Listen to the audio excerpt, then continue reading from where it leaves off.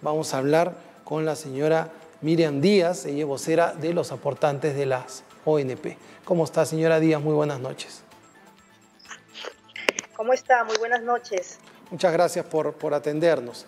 A ver, cuéntenos cuál es la situación de los aportantes de la ONP, que es realmente, no sé por qué no se hicieron las dos cosas al mismo tiempo, se fueron a las AFPs eh, y los que aportaron en la ONP, los que fueron más consecuentes, los que se quedaron ahí, al final, en este momento de emergencia, son los más perjudicados. Sí, correcto, Miguel. Este, te agradezco ante todo, ¿no? Buenas noches, Sí, buenas que por la noches. cabida que nos está dando. Soy vocera, ¿no? De los hermanos de la ONP, como muchos que también estamos levantando nuestra voz de protesta y lo venimos manifestando a través de las marchas que venimos realizando, ¿no? A través de los días. Eh, quiero mencionarte que sí, la verdad que nos sentimos sumamente consternados y mortificados porque no nos están dando, lamentablemente, el gobierno está dando la espalda completamente. A pesar que nosotros estamos solicitando algo que es justo, algo que es nuestro derecho, porque es el dinero que nosotros mes a mes, año a año, nos han ido descontando. No es una dádiva o un regalo que estamos pidiendo por parte del Estado. Y la verdad que también debido a esta situación que nos encontramos actualmente por el tema de la pandemia y el estado de emergencia que se ha decretado a nivel bueno del país, ¿no? El aislamiento social, es que también estamos exigiendo la misma igualdad y no la discriminación. De, porque si los hermanos de FP que tuvieron una entidad privada, que de verdad que bueno, ya ellos están encaminados en el tema justamente de la devolución de sus aportes, nosotros, ¿por qué vamos a ser discriminados? El gobierno no nos puede desamparar y el gobierno sabe muy bien que como gobernante, el señor el presidente Vizcarra, tiene que amparar a su población y lamentablemente no lo está haciendo, lo está desprotegiendo. Muchos de los hermanos aportantes de la ONP, aportantes y exaportantes, se encuentran actualmente sin trabajo. En mi caso, con suspensión perfecta de labores. Claro. Y en muchos de los casos, hermanos que son en forma independiente, que se sustentan día a día, tampoco pueden salir a laborar. Ahora, Entonces, eh, eh, lo, lo que al final les están diciendo es, eh, ¿para qué se quedaron en la ONP? Son unos tontos, debieron irse a la AFP y por más que hubieran tenido pérdidas ahí, hubieran podido retirar sus dineros, tienen ventajas, tienen todo, y los que confían en el sistema previsional eh, eh, público, al final siempre son los más perjudicados, cuando es el Estado es quienes deberían soportarlos, y no lo que dice el señor Montoya, eh, jefe de la ONP, de que al final ustedes no, eh, bueno, pues ese dinero es para pagarle a los, a los pensionistas, entonces más bien el Estado o el gobierno tendría que aplicar un fondo o por lo menos darle un, bono adicional a los eh, aportantes a la ONP que no están percibiendo un sueldo en este momento. Pero el tema es no dejarlos en nada, y están en nada. parados. Así es. Es más, Miguel, nos damos cuenta que a través de los años y de los gobiernos, ellos no han tenido ni la más mínima intención de que la ONP de alguna u otra manera se estabilice, ¿no? Este organismo supuestamente, entre comillas, este, este gobierno pre- previsional, este organismo solidario, como dicen ellos. Entonces, lamentablemente, ¿por qué? Porque cuando en la última reunión que tuvieron el presidente de la ONP, el señor Víctor Hugo Montoya Chávez, eh, mencionó que cuando una persona entra a laborar a un trabajo en forma, formal, bajo planilla, la prioridad del trabajador es afiliarlo a una FP. O sea, no dieron ningún incentivo para que el trabajador elija una ONP. O sea, que eso da a entender de que poco a poco iba extinguiendo lamentablemente la ONP.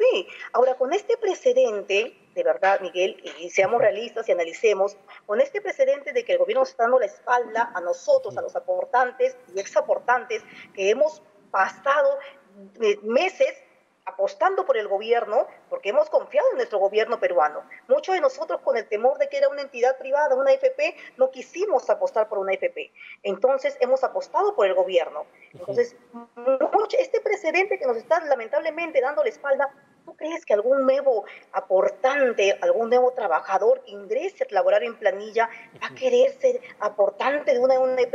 Claro. Claro que no. Claro. Nadie, va, nadie en su sana razón va a querer afiliarse a una ONP. Por eso, lamentablemente, la ONP ya ha colapsado. La ONP en este momento, eh, supuestamente, si nosotros que estamos aportando nuestro, nuestros aportes sirven para los jubilados, nuestros hermanos jubilados, entonces, cuando yo llegue a los 65 años de mi edad de jubilación, si no hay nuevos aportantes, Bueno, ¿quién pagará el, el- el común denominador de este gobierno es que hay que empujarle las cosas, hay que dárselas con cucharita.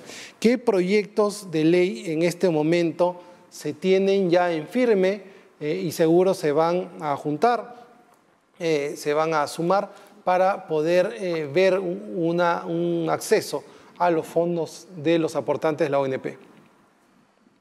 Sí, Miguel, mira, nosotros eh, como grupo, eh, somos un grupo unido, este, este, que hay varios, muchos hermanos que también están luchando, levantando su voz de protesta, hemos enviado el día 28 de mayo una, un escrito, un oficio a tres congresistas a través del Messenger, porque ahora es un poquito difícil, lo hemos intentado, ¿no? A través de la mesa de partes, pero bueno, yo sé que es complicado por la situación que estamos viviendo actualmente. Hemos mandado, y en ese comunicado y en ese oficio hemos solicitado tres puntos básicos.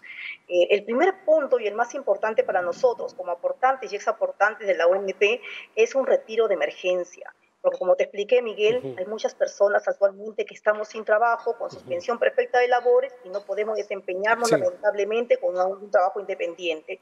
Y no tenemos en este momento para subsistir. Estamos endeudándonos, viendo la forma de cómo llenar la olla familiar.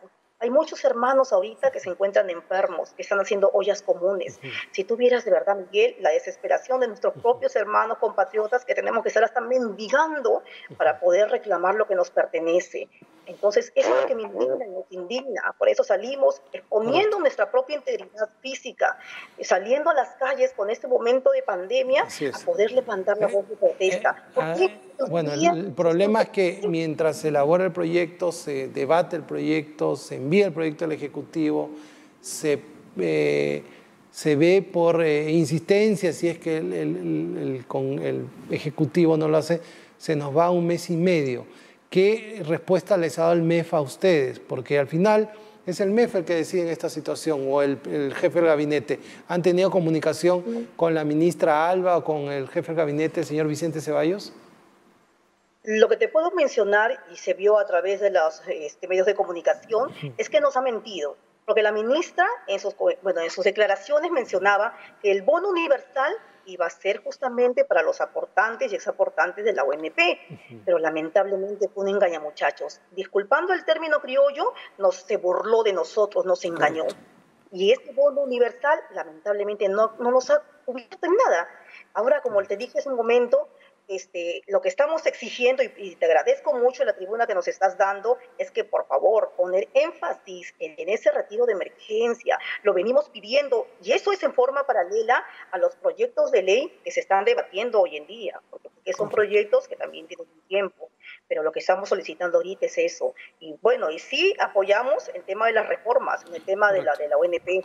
Somos conscientes de que esta ONP ha colapsado terriblemente, ¿no? Con tantos actos de corrupción. Y lo que nos indigna también, Miguel, y déjame hacerte una observación. Sí, por favor, para terminar, por favor, que se nos va el tiempo. Sí. Sí. Perfecto. El gobierno dice, no hay dinero pero lamentablemente sí hay dinero para desembolsar en tantos actos de corrupción que conocemos hoy en día.